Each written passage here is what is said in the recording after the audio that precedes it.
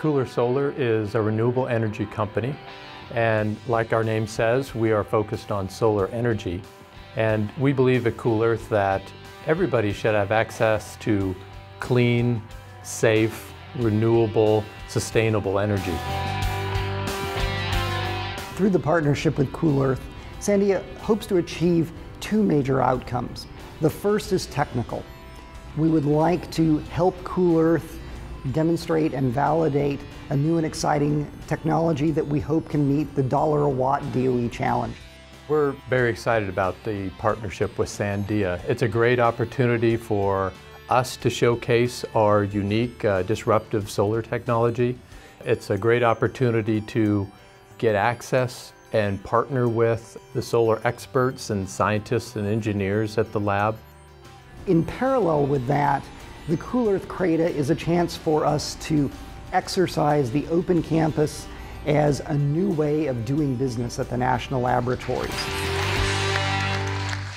When I was in the House chamber last week, President Obama issued uh, a number of challenges to the Congress and to the country about energy efficiency, uh, to reduce our energy footprint over the next five years, to make our businesses and homes more energy efficient, and also to really work and strive for more public private partnerships. And I thought, well, here in Livermore, we're already doing that. We're already leading the way. What we've done better in California than any other place in the country is bring together public, private resources, investors, industry people, people at the local government level, the state level, and then the amazing capacity of Sandia and Lawrence Livermore National Lab through the collaboration through the Livermore Valley Open Campus. All of those ingredients have been brought together in a way here that demonstrate the power of innovation in a collaborative atmosphere. And so what's happening here is just something that truly is special.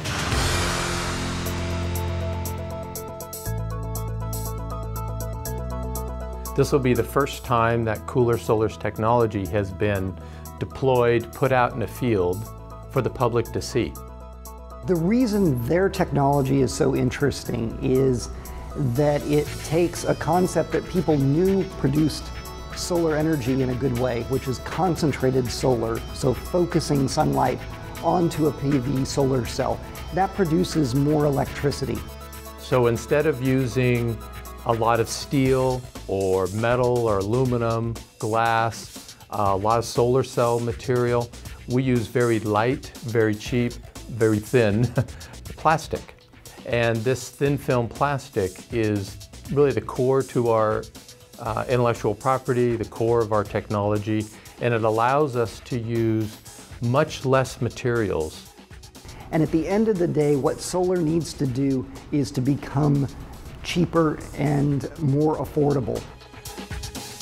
So what's going to happen at the Sandia site? It'll be the first time ever the Cool Earth Solar technology is deployed out in the field for the world to see.